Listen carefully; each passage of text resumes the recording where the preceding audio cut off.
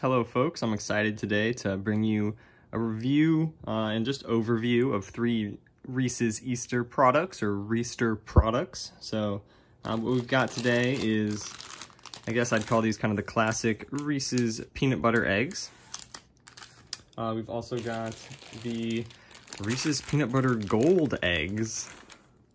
And we've got uh, the mini Reester bunnies, which I was unfamiliar with. I don't know if they're new or not. Um, can't speak to that for sure.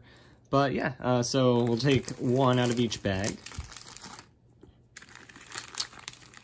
Um, and it looks like they all um, have the same rough uh, nutritional information at 50 calories per uh, little treat.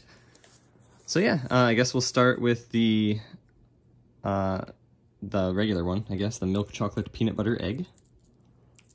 It's actually, I don't, I don't do the fingernails very well, so, um, but they're normally not that hard to open. I don't know why I struggled. I guess just the camera effect. Um, but yeah, so I did put these all in the fridge to make them slightly more enjoyable. There we go. That's what it looks like on the inside. I suppose we'll save it so we can compare it directly but I need to chew this real quick. And then I will be uh, drinking water in between each egg to cleanse my palate.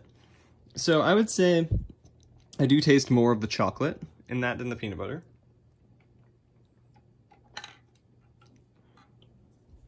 All right, the golden one. I'm sort of expecting this one to be the best. I actually have not tried the golden yet this uh, year.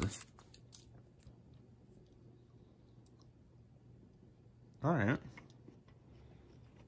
So we got a little more peanut butter.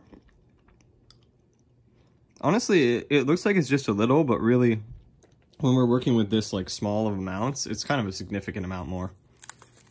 Oop. Got to chew this and take my drink of water.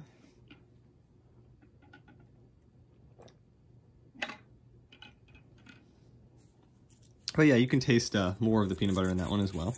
Or, I mean, basically because of the more peanut butter. And the Reester Bunny. so that's what we're working with. It's got a little Reese's cup in its hand. Adorable.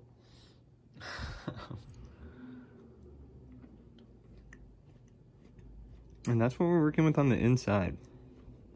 So, compared to the regular egg, it might have roughly the same amount of peanut butter, just in a different shape. And again, you can kind of taste the chocolate more in this than the golden egg.